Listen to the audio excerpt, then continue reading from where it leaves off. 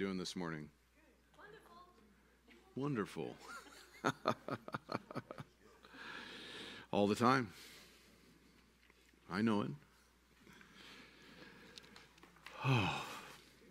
You know, I just, uh, as Tracy was chatting, we are talking about the, uh, the event with Tommy. Um, I'm, I'm reminded about, I've mentioned this a few times, I think, but I'm reminded about, reminded about an event we had here in 2009, 2018 when we had the team from India. And we had uh, uh, Benito, our good friend, you know, friend of the church here, and then Terrence was here as well, who's a good friend of Benito. And uh, we did a how to share the gospel night. And like, walking around with the Indians in India, they share the gospel with everybody. It's just, just natural recourse for them. And uh, I remember when Benito asked the question, or one of them asked the question, How many of you have ever been to a training event about how to share your faith, how to share the gospel? And I don't think a single hand went up in the midst of us. There were 40 or 50 of us in the, in the event. And it, it just, it dawned on me. I was just thinking back, like, you know, we've had good training on prophetic ministry, on healing, and, and you know, talking here about encountering the Holy Spirit. We've had all this good training at, at SCC, but at churches across North America, right?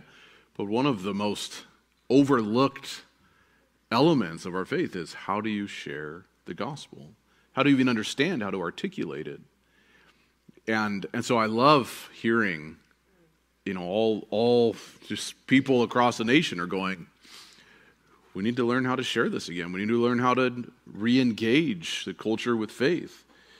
I, I um, it's just a it's just a beautiful thing. So I'm very encouraged. I loved what Tracy the, um, the Luke 22 verse.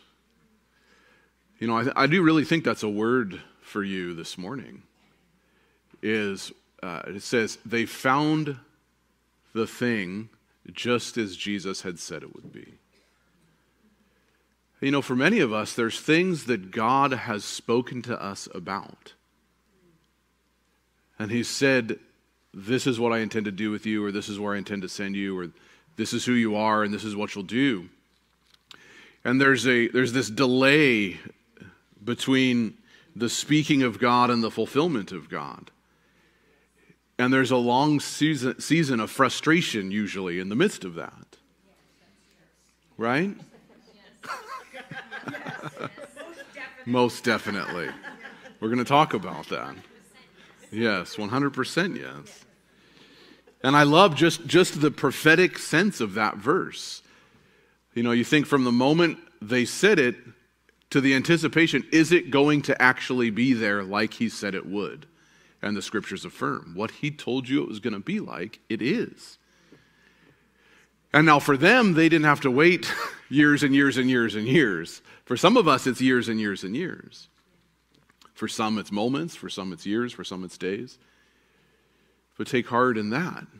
See, there's, there's, this, there's this part of the journey that's called preparation. And, and uh, in fact, preparation is the whole journey. You know, it's interesting. What you get in the preparation is what you get in the promise. There's one early church father who said the, the practice, or the promise is realized within the practice itself. So you practice for the presence of God, and what do you get? The promise. You practice for the promise, you know, I'm going to have a great, think about someone like Tommy when he was young, I'd imagine. The Lord speaks to him, you're going to have a great evangelistic ministry. Well, the practice is in the promise, or the promise is in the practice. You practice what you do, and the promise is realized.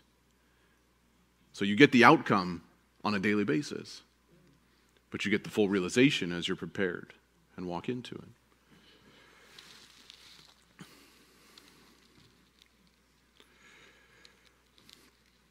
I, I want to read. Um, I'm gonna. There's a number of things I want to touch on this morning. On, you know, we're in this this series on uh, the Holy Spirit and the power of the Holy Spirit.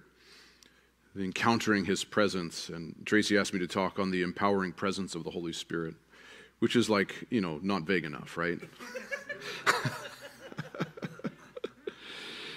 I want to read this excerpt from a 12th century Christian mystic. It's a poem that he wrote about the presence of God. And he says this, and then I'm going to go into a number of different things.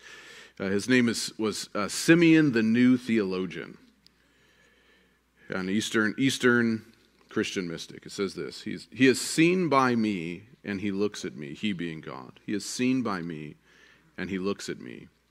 He who looks upon all things. Amazed, I am astonished at the shapeliness of his beauty, and how the Creator stooped down when he opened the heavens and displayed his unspeakable and strange glory to me. Who therefore shall also come closer to him? Or how shall one be carried up to the immeasurable heights? When I consider this, he himself was found within me, flashing forth within my wretched heart illuminating me from all directions with immortal radiance, shining upon all my members with his rays, folding his entire self around me, he tenderly kisses all of me. He gives his whole self to me, the unworthy, and takes my fill of his love and beauty.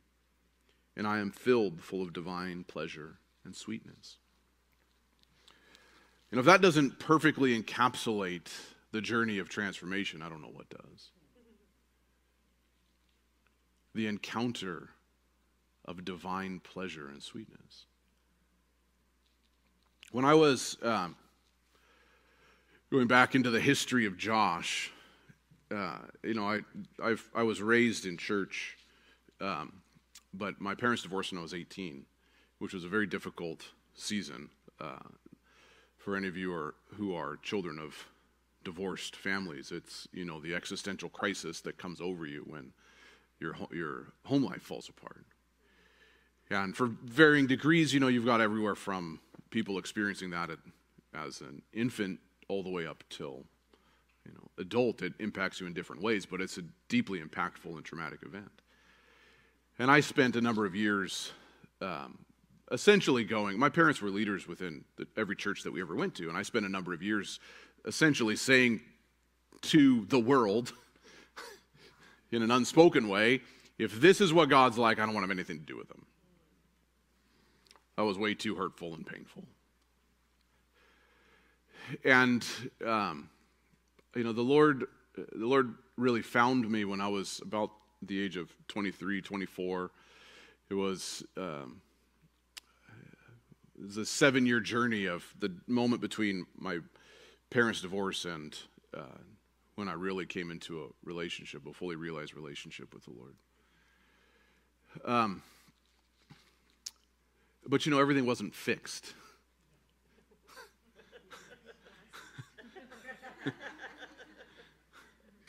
everything still isn't fixed. it's better. well, the funny thing about that is, I, I, the better I get, the more broken I realized I am, right?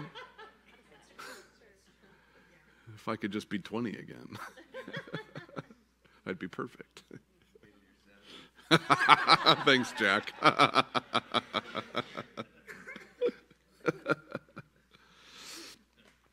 and along the way, you know, I I um, I get I started getting involved with uh, it was a vineyard church down in California. Um, I started getting involved with this church um, quite a bit, and got involved in a Bible study. Was meeting with the pastor regularly, and there was a, a group of uh, five of us that were all kind of right around my age, mid to late 20s, and we were kind of gung ho for the gospel. So we would go out. We had a we would go out to um, a local farmers market that was a huge farmers market. You know, fifteen thousand people would come each night or each each.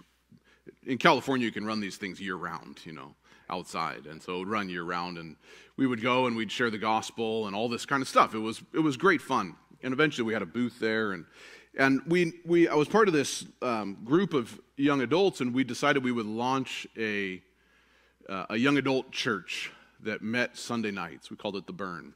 Really clever name. and uh, um, and it was hopping. It was really, really good. You know, we had a, at least 100 young adults coming out, um, and uh, worship leaders coming from all over the region, and it was just awesome. And meanwhile, while that's happening, and I'm in this, I'm in this nucleus of five young men who are walking with this pastor to launch this young adult thing, having a great time with it, and um, I'm just trying to think of how many stories to tell you about my failures. Um, the first time they asked me to give a, any kind of announcement, they said, Okay, Josh, you're going to do the announcements. And the pastor said, um, Okay, just whatever you do, you, if you're going to tell people, we didn't take an offering or anything because it was young adults. So if, you, if you're going to say anything, just point people back, say there's a box in the back. If you want to leave an offering, there's a box in the back, right? He says, don't say things like, we don't pass the envelopes here, we don't pass the bags here, or anything like that. Don't say anything like that. Just, just, it's nondescript. You know, there's a box in the back. So what did I do? I got up, I was incredibly nervous, and I said, very first thing out of my mouth, we don't pass the bags here. We don't have any envelopes here. I couldn't think of what to say. I just thought, what did he talk about? Oh, that's right.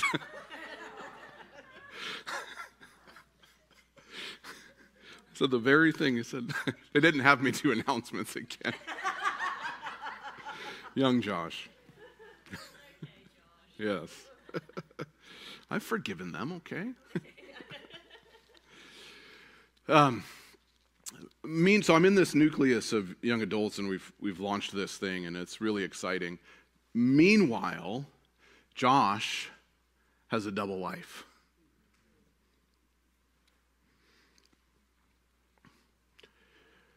Because, you know, I met Jesus in a pretty dramatic fashion and start getting involved in the church here. But between that time of my parents' divorce and that moment, I'd fallen in with a relatively rough crowd. And, um, you know, we were, my house was the party house. Like it was, the cops would just show up at my house every weekend because that was just, they knew there would be a party there and one of our roommates was notorious for selling um, painkillers, prescription painkillers. And there was drug paraphernalia all over our house all the time. It was just the way our house was. And the guys I was hanging out with started to get into harder and harder substances. And, um, and so I had, I had gotten out of a decent amount of that by the time I was involved with the young adult group. But some of these guys were still my friends. And so, you know, I would still go and they'd call me up, hey, we're going to go to this party, we're going to go to this bar. And they're my friends, so I went with them. And so I would go out and I would just have this miserable crash, moral crash. And then I'd come back to the group, but I didn't want to tell them anything about it because I was afraid of being ostracized. So I'd hide what I was doing over here. None of them knew about it. And meanwhile, I would pretend that I was good Christian Josh over here. Because I wanted to be able to give another, another announcement message.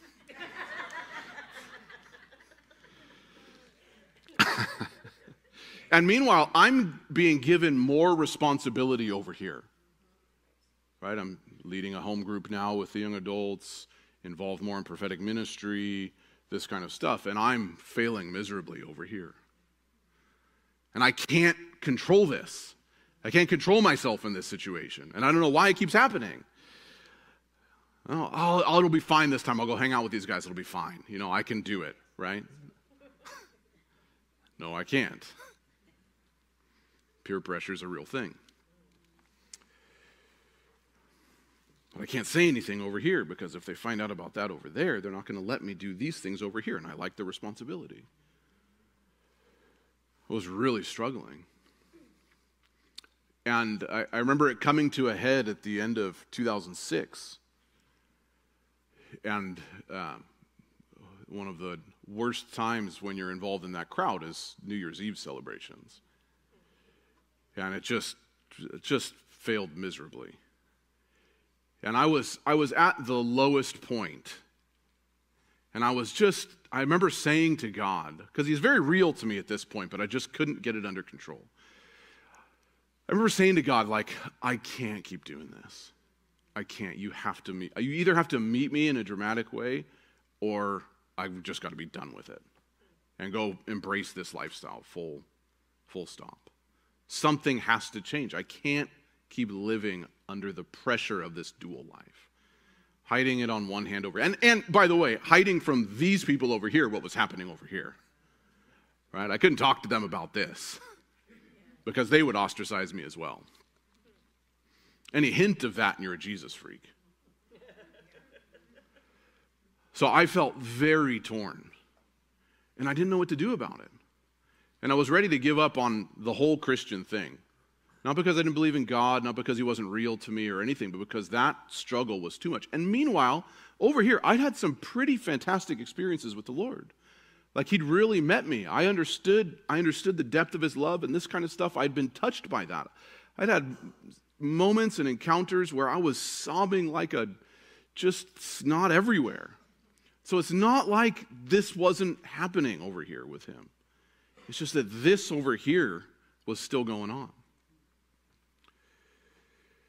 And so I remember having a conversation with my dad. You know, my dad knew I was struggling, um, even though I, he, he, I worked with him and he could, you know, parents are pretty smart, usually. And um, I'm a parent, so I have to say usually and and so I know I, I, he could tell that I'm struggling, and he says he said to me, "Look, there's this conference coming up at this church, and it's this was this is at uh, Bethel in Redding. He says there's this conference coming up. You know, John Paul Jackson's going to be there. These other prophetic guys are going to be there. I'll pay for your registration. And I had been talking like I thought, well, maybe if I go to like a ministry school or something, it'll get better, right? Looking for some kind of answer. He says, Why don't you just go check the place out? I'll pay for your registration and you go by yourself with no one else. And I said, Okay. And that's a seven hour drive, right, to get there from where I was. California is pretty big. And um, this is in February of 2007. So I'm, I basically went, okay, this is my last ditch effort. I'll do this, right? I'll go check it out and get away and find out, you know, if I can be this person over here full time. And um, I went to that conference, you know, for a 20, what was I, 20, I was 25. So for a 25 year old, that was a pretty big deal to drive that far and invest all by myself, you know. And I, I was not the kind of person that wanted to be alone at that point. Now I'm the kind of person who loves silence, you know, studying the lives of monastic figures throughout church history will do that to you. But then I wanted to be around people. So it's a big deal, right? And I, I think in the best, the best term that I could use to describe what happened to me, at that conference was that I got schmoed by the Holy Spirit. schmoed. I don't, I don't even really remember what happened. I just remember weeping all the time. I remember crying. I remember sweating. I remember being feeling like I was. I felt like I was on fire for three straight days, and I everything changed. I remember like like before that, I decided you know I, I was gonna. Everybody said you're supposed to read the Bible, so I was gonna read the Bible from front to front to back, right? So I did that. This was probably 2006. Before I went, I read the Bible from front to back, and I decided I was gonna start praying. And I sat down to pray one morning and I just gave up after 30 seconds. I said, This is too hard. I'm to read the Bible again. After, after that conference, I remember sitting down to pray and going, I can feel him. He's here. Everything's changed. If I sit, he's there with me. It's no longer me trying to do something in forcefulness of will, but it, he's there. And so I don't, it's not even, like, prayer is not even praying when he's there, it's just being with him. Right? We're like, we use the term prayer to describe lots of different things, but that it was just like I could sit. I remember sitting and feeling and going, there's someone here with me. I remember writing a list of 10 points of things I wanted to see accomplished in my life. Everything started changing. This is in the hotel room at the conference. Right? Everything started. I still have the binder they gave us, actually, with the list on it. and every one of them, actually, by the way, has been fulfilled. and I, I left. That, that was the um, uh, Jesus Culture had just released their first worship album, and you know at that point they had I think there was four tracks of just praying on that album. You know back when they used to do that, and I I bought that album there, and seven hour drive home it was just on repeat in the car, and I was just weeping and weeping and weeping convinced and convicted of his love for me and for all of his creation. I remember reading at some point in there uh, a number of the verses in the Proverbs that talk about how he will refine us as silver and remove the dross from our life. And it dawns on me, I'm sweating like I'm on fire, and I'm going, He's doing this, He's burning it all up.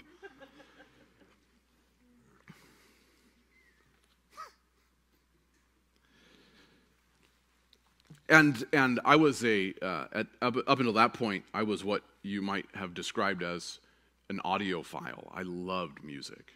I still love music. It's not like it changed, but like Aaron, at one point, we were we have a had a friend a number of years ago. This is before Aaron and I were even dating, but our friend was a, uh, English was their second language, um, and so they were trying to figure out what the word pretentious meant. And Aaron said, "We know how Josh is with music."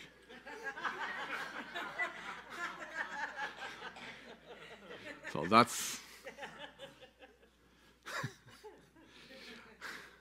And and uh, I had discovered that you could download music for free. and so I had, I mean, I had a huge category of music, and I would go to music shows. Like I wanted to discover every indie artist. I'd travel.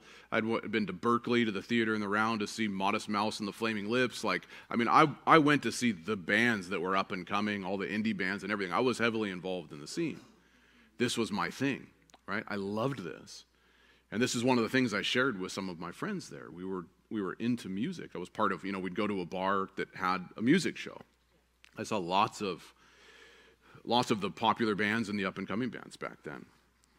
And I remember leaving that conference and putting that Jesus Culture CD on, and for the next year and a half, I couldn't listen to anything else. I, I couldn't turn, if I turned on any other music, not, secular music is fine. There's, some, there's actually some beautiful, mu- I, don't, I have no problem with any kind of music. I just couldn't, if I turned it on, my stomach would just turn. I'd get nauseous. I couldn't help it. So all I could do was listen to worship. So I realized that within the first couple days. So I tried to find Christian music downloading sites where I could get music for free that was Christian music. And so then I started to download the first thing and I couldn't download it. I was like, this is wrong. I can't do this anymore. So what am I I just start spending money on iTunes. I never spend money for music. My point is, eh, like, from, like, I was stripped back to the seams and rebuilt, and every value changed.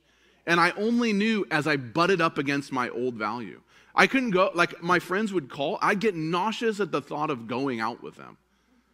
I, I went out one time and I stood outside of the bar that they wanted to go to. I couldn't go in. I felt nauseous just being there. Like my stomach turned. I couldn't. Everything had changed. Everything. And I had to work this out, you know. And, but here's the thing like at that point, I had struggled with a pornography addiction too right? Drugs, alcohol, porn, it all goes together. I'd struggled with all of that. That changed like that. I couldn't, like, I was an avid video gamer at that point. I couldn't play a video game, I couldn't turn a TV on.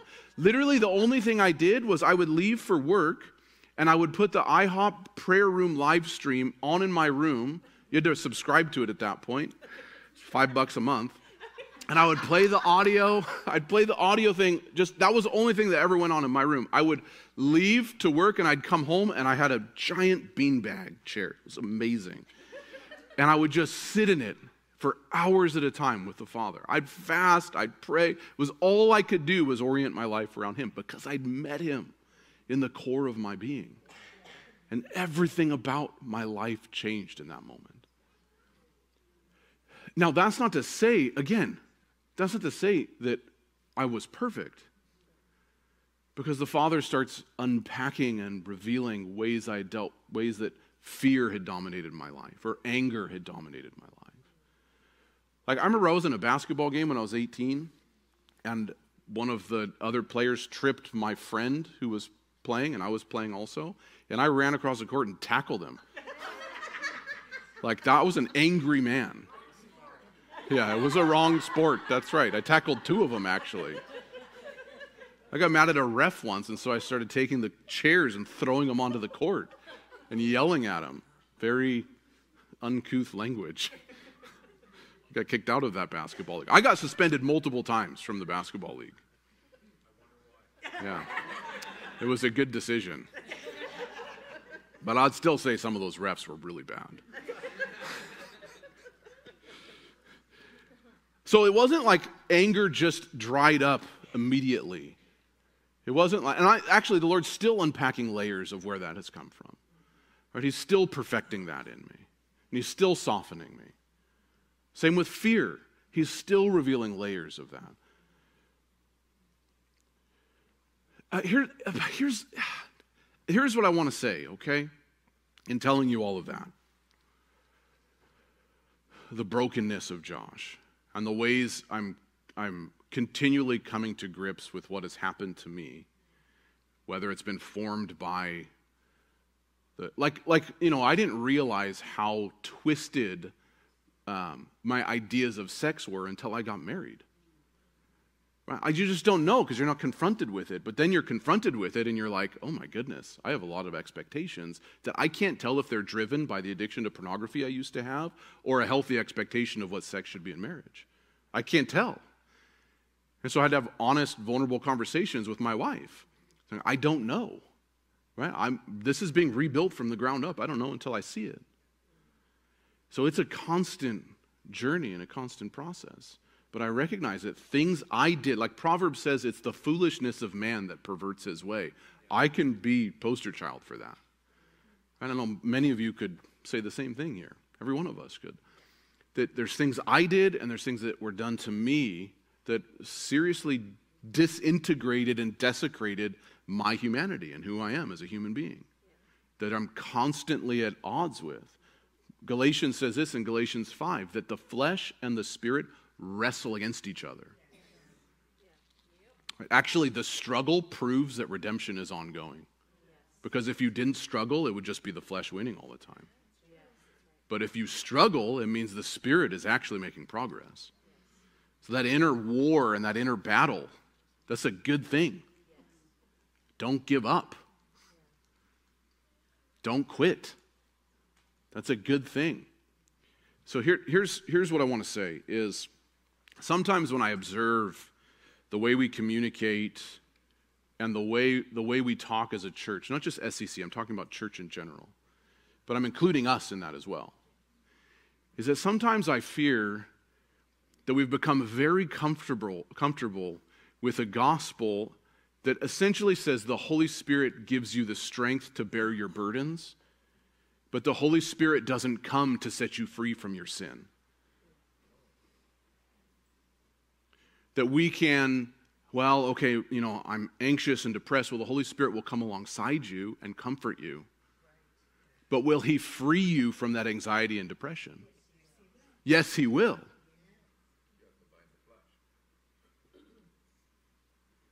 Yes, He will. But have we exchanged one for the other in our thought process in Western society, in church, in Christianity? Do we actually believe? Like, like, and here's the thing, right? Because it's very easy for us to conceptually say, well, yes, but now let's bring it right down to the locus point of the particular individual. Do you believe he will do it for you? Because we can articulate a theological point without believing a theological point. If you, statistics say, okay, between the ages of 17 and 40, like just talk about pornography for one. Statistics say, and I'm not going to get you to raise your hands. Statistics say, on, we'll just talk about pastors. I won't get the pastors to raise their hand. Freddie's not in the room, so. 50% of pastors are addicted to pornography. Statistics say that. The number's even higher for your average population 70%. When it comes to the men between 17 and 49 here in the room, statistics say 70% watch pornography at least a couple times a month. That's what, that's what the statistics say. The number is typically less with women, but it's still there with women as well. So we can articulate a gospel that says, sure, the Holy Spirit brings freedom, but will He bring freedom to the lust that overwhelms me in that particular moment? I've talked to good Christian leaders that, you know, on a, on a ministry trip or a business trip or whatever, when they get into their hotel room by themselves, they have a hard time not ordering a pornographic channel on the TV. Good Christian men who are struggling with that, who could articulate to you a gospel of the Holy Spirit's empowering presence to bring freedom, but in their practical everyday life, it's non existent.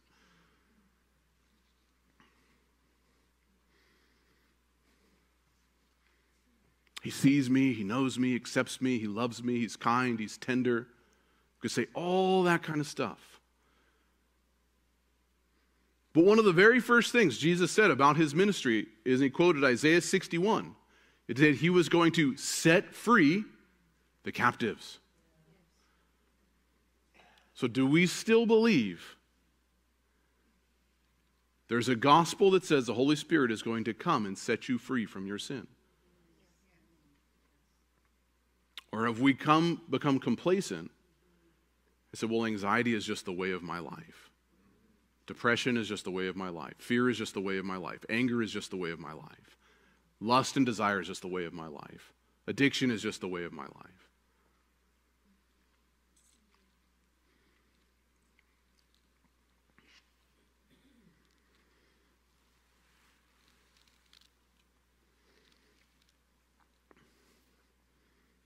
See, see, Paul was actually dealing with this. Just turn with me. Galatians 5. I just want to point a couple things out, okay?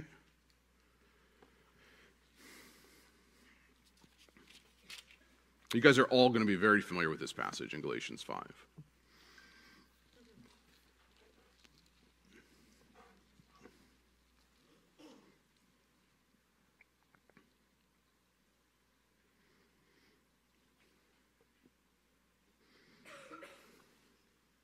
So here, here, here's just a thought experiment right, right before we get into this. Take, um, let's first externalize this. Take a person in your life who you would say is the most hopeless case.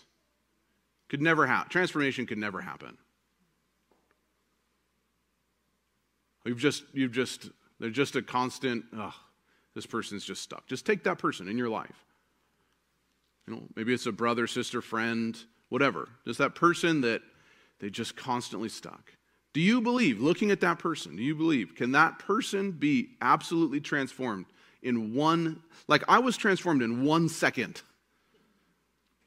Now, there's a lifetime, I'm, i know that, but do you believe this is where it comes down, where the rubber, where the rubber hits the road?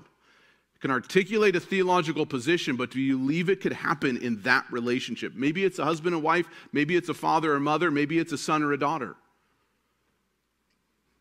Do you actually believe the Holy Spirit will, will not just can, but would touch that person's life and radically transform that person?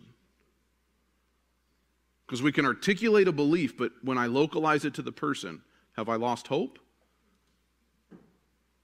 Or let's say with myself. And whether it's a struggle with pornography, a struggle with anger, a struggle with uncontrollable thought life, you know, all these things that we struggle with. Well, I believe they could do it with that person, but can they do it with me? Do I believe that in the moment that lust begins to overwhelm me, the Holy Spirit can empower me and enable me to become free from that addiction?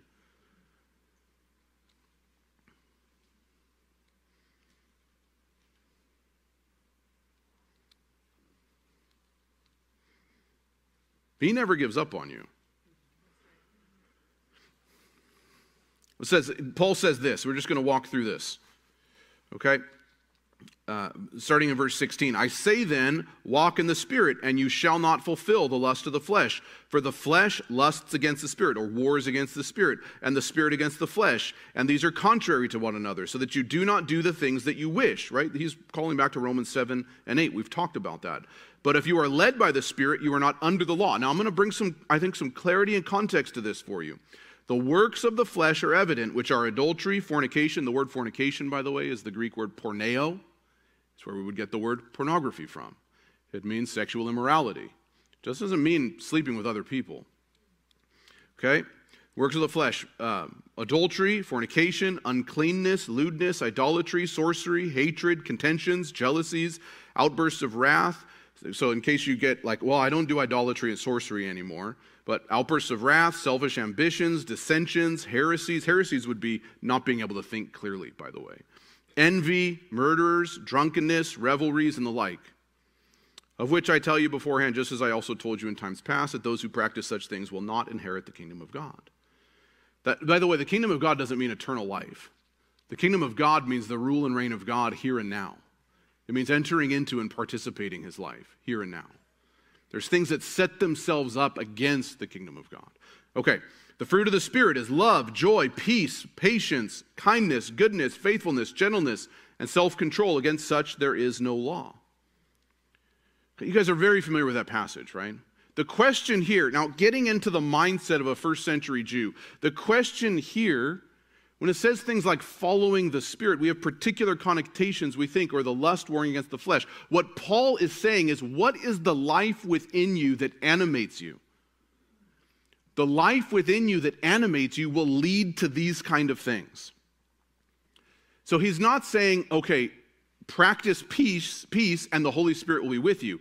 He's saying, no, if the life that animates you is the Spirit of God, peace will be the byproduct of that life.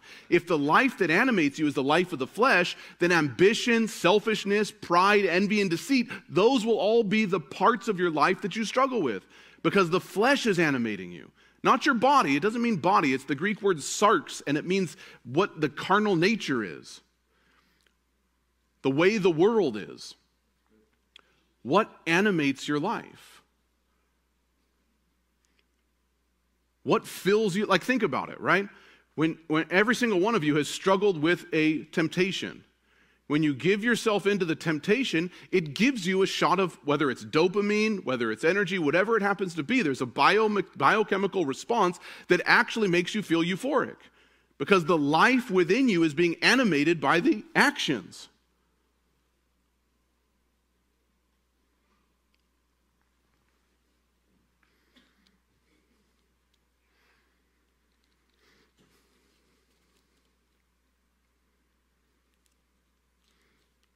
Just flip back over with me for a second to Galatians 4.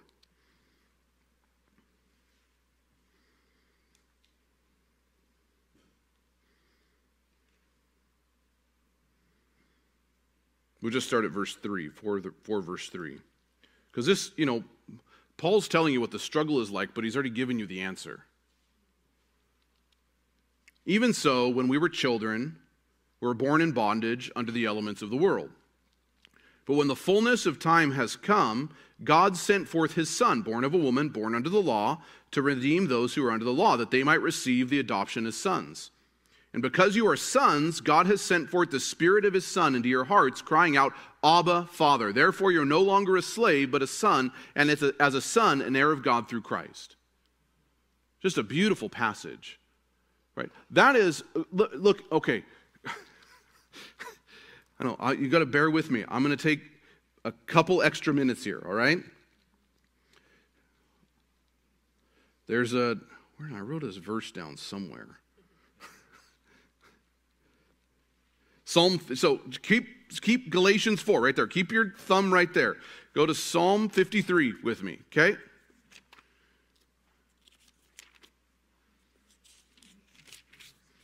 Okay, that's actually, this is, Psalm 53 is a uh, almost the exact same psalm as I think Psalm 16. It says this, verse 1 The fool has said in his heart, There is no God.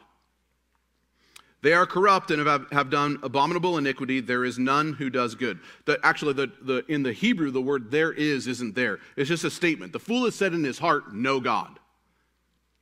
Not there is, it's not like no God exists, it's saying no God's in here. Okay? The fool has said in his heart, No God. The Spirit is sent into your heart to cry out, Abba, Father. That's a radical transformation, right? That's a big difference. So the, the Spirit goes into your heart, cries out, Abba, Father. Because here's the thing, right? Here's the thing. Here's when we talk about the love of God, what we tend to mean is that God loves me and accepts me. That's a totally wrong context. When we talk about the love of God, when the Spirit cries into your heart, falls into your heart, cries, you're crying, Abba, Father, you're no longer thinking about whether you're accepted or loved. You're thinking about how amazing He is. It reorients your vision away from this onto Him. So it no longer matters if I'm accepted and loved because he's beautiful and amazing. My whole life, every characteristic of my life has been taken off of this carnal, fleshly nature, and now I can't help but see him. And when I look at anything else, I actually get nauseous. Because it's his spirit in me and his, in, his living in me now. Right? Paul says, it's like, it's like we say these as theological realities. Paul says, I no longer live, but Christ lives in me. Look, at, you could say it like this what Paul says. When Paul says that, he's saying, I no longer live, but love lives itself through me. I'm not even living in here anymore. He is. That's the Holy Spirit does something radical and transformative. He doesn't just give you strength to struggle through your everyday life, He radically transforms you. And sometimes we go from one struggle to the next, not re- and that's fine. You know, I'm not saying that He doesn't give you strength to bear with the difficulties. I'm not saying that. I'm saying that that's not His intended goal and the outworking of the whole thing. Right? He does give you strength to bear with difficulties, but He also longs to transform you. Right? He sends like like I don't have time to unpack this whole thing, but the Spirit is the love of God. He sends it into your heart and it cries out, Abba, Father, because you're no longer concerned about whether you're loved or accepted or anything. All you're doing is seeing Him because His love is actually living itself in you. And it's not so much that you experience Him, but now He experiences you. Okay, and here's how I know that because Paul says this, but then indeed, there's the very next verse in verse 8. Then indeed, when you did not know God, you served those which by nature are not God's right? That's the life of the flesh. But now, after you have known God, listen to this. I just caught this the other day. I never even noticed this before. They just put this in here.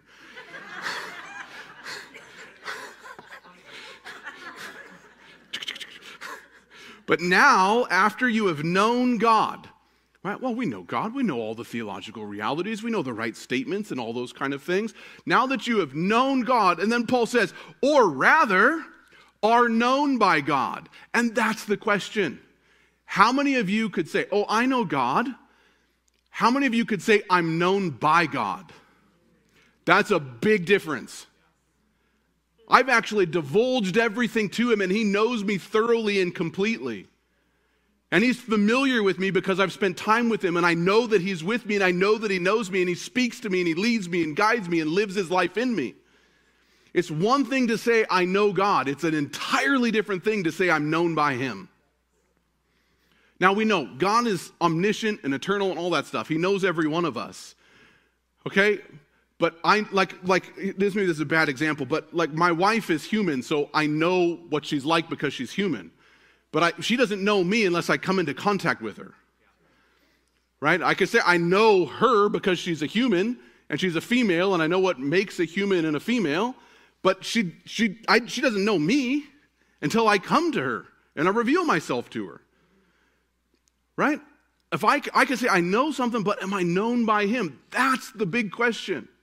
Because that's the crossing point. Like I would say, that point in my life in 2007, when that ha- happened, that's when I started to be known by God. Because now I've entered into covenant relationship. Now, what's more important to me is Him, not me. Now, what's more important to me is walking with Him and not walking with these things over here. And he, he strengthens me and enables me and empowers me, but it's because I've been taken from this and I've been put over here, and now I'm known by him, and I'm opening my heart, and he's searching and he's revealing what he finds in there. And that's the lifelong journey. The gospel is not intended to give you strength to bear any duress that you're under. The gospel is intended to give you freedom from a life of carnality. The things that dominate and control you that are so linked into our body that every single one of those things that Paul references as works of the flesh are significantly connected to a particular biochemical response in your body that gives you a euphoric feeling. The Father intends you to free you from that.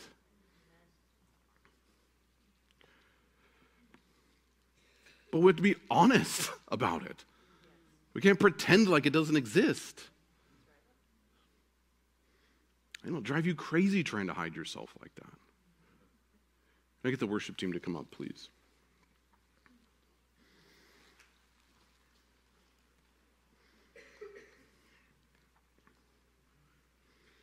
See, when, when, when the cry of your heart is Abba, Father, the cry, that means the cry of your heart is no longer lust and desire.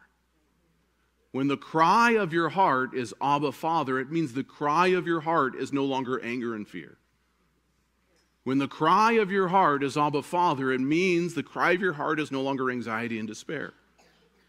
Because something has radically shifted. That doesn't mean the circumstances shift, because God deals with the inside before dealing with the outside. Okay, like we want to see radical change in society. We want to see institutional reform, and so we rail against the institutions. God works from the inside out, not the outside in. He changes the hearts of people, then sends them into the place. And so we want people that don't know God to change the way they're doing things. Why would we expect that? He intends to change you and then send you. The greatest witness like, think about this. The greatest witness of Christ's presence on earth is, is humble, radical love. Like, like, there's nothing else that, that provokes people to look at it and go, why would you suffer like that? Why would, you know, Mother Teresa, why would you go clean the lepers like that?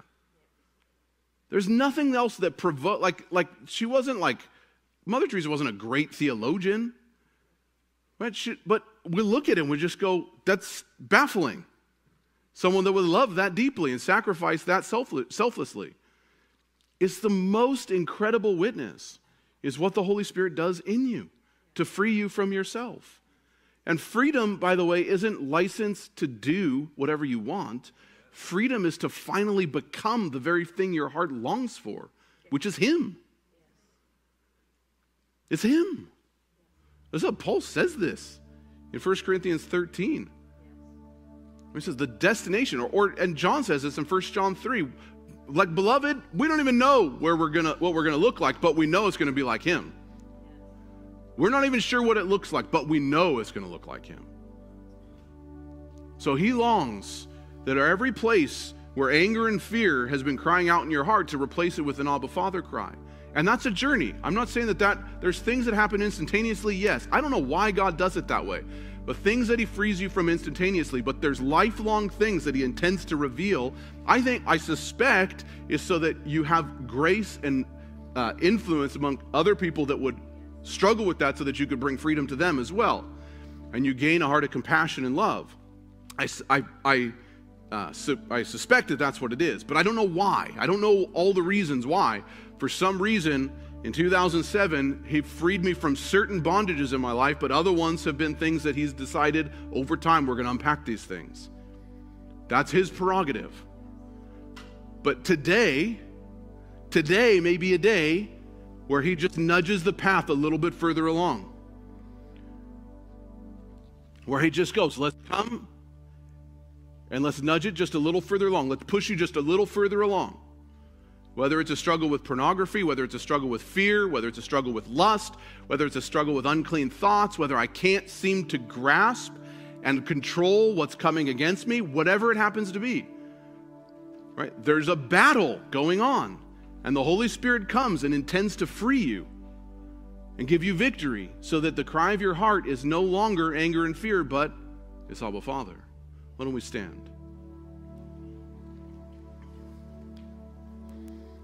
So this is what I, this is the invitation this morning. If you want a shot in the arm, maybe that's a bad way of saying that now. There's societal trauma.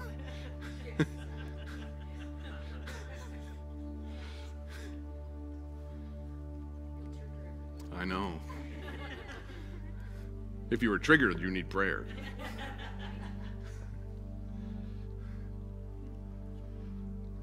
You know, there's every single one of us could use it.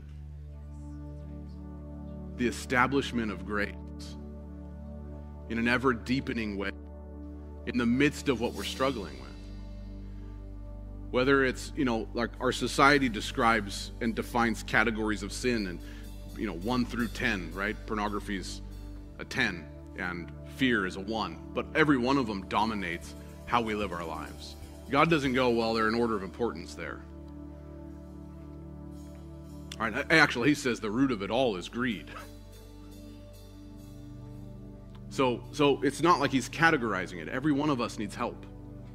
Every one of us needs to make the journey from Abba Father, from fear, anger, desire, lust to Abba Father. We're all on that trajectory. Right? The challenge that I want to give to you today is to reestablish hope that things could change. To reestablish hope that things could change, whether in the people around you that you've lost hope in, or whether in yourself, or both, that things can change because the Holy Spirit is not inactive. He's in the business of transformation. And I know He's done a lot in each one of you already, but He intends to do more. And so the invitation to respond right now that the Holy Spirit would bear witness in your heart, the cry of Abba Father would be strengthened this morning the struggle would be strengthened this morning. The struggle against those things, not to bear those things, but to struggle against those things. That that's the invitation this morning. And I want to pray for you. I want to lay hands on you that the Holy Spirit would touch you and would enable you and would strengthen you. That the Holy Spirit, that the Abba Father would increase in your heart. And I believe this morning can be, a, for some of you, it's been a real painful struggle. And I believe this morning can be a moment of freedom for you. And so I want to invite anybody that, you know, you're stirred, whatever, come down here. I'm going to lay hands on you. The ministry team's going to lay hands on you. Okay? Whether it's anger, whether it's fear, whether it's lust, whether it's selfishness, whether it's pride, whether it's greed, whatever it is, the thing that you can't seem to kick. The Holy Spirit intends to make clear today that His voice is stronger than that voice. So the invitation here is a moment of encounter. The encounter with the Abba Father. The encounter with the loving, tender, wise God that reorients and shifts everything from yourself to Him.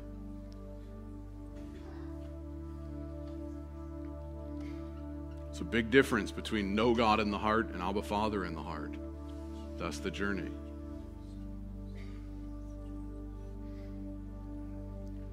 So we're going to lay hands on you. We're going to pray that the Holy Spirit touches you in a, in a significant way.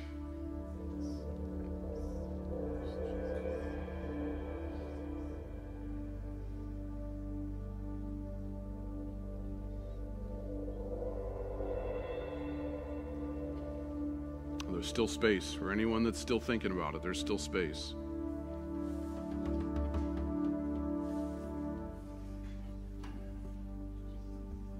Jesus, Jesus. We're going to spend time in this moment. So if you need, I know if you need to go, you can go. That's fine.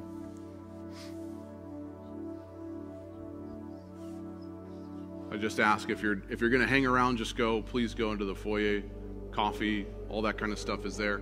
Just, just let's protect this place because the Holy Spirit really wants to minister.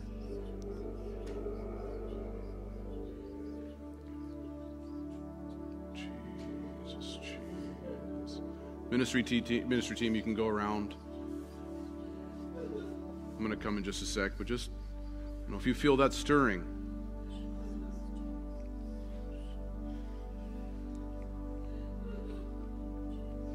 can, pray, he can break the power of anger just like that.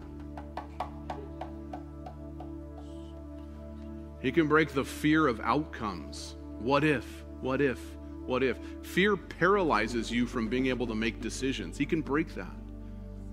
The Abba Father, the trust and the faithfulness, He can break that.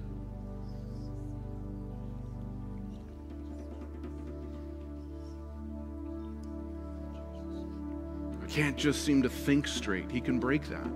He can bring clarity. He doesn't give you in you a spirit of fear, but of sound mind. He can break that. He can bring clarity to thoughts. If that's you struggling, I can't seem to get my mind focused, He can bring clarity.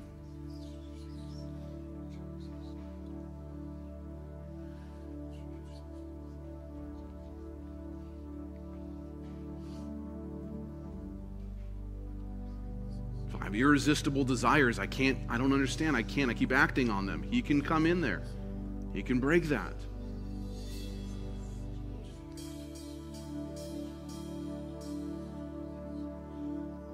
In fact, it's not even that he can, it's that he longs to. See, the, here's one thing for you, all of you that are up here now, and you that are back there. The Holy Spirit is the furious longing of God for his people. The furious longing of God. He's sent it into your heart. The furious longing of God for you.